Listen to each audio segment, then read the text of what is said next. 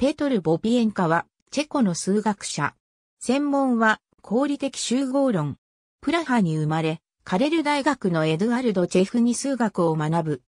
1964年以降、同大学で講師を務め、1967年に博士号を取得。1968年には学内で教授への昇格が内定していたが、この昇格は妨害され続け、彼が実際に教授職に就いたのは1990年になってからだった。1980年代半ば頃からは、フッサール現象学に傾倒し、数学の哲学にも関心を示すようになる。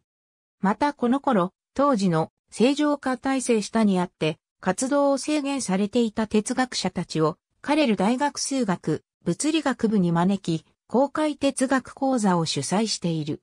1990年にはカレル大学副学長に就任し、1990年から1992年にかけてはチェコ共和国の教育大臣も務めた。初期にはトポロジーを研究していたボビエンカだったが、1970年代初め頃から数理論理学へと関心を移し、カントール集合論に代わる、いわゆる代替集合論の構築へと向かっていった。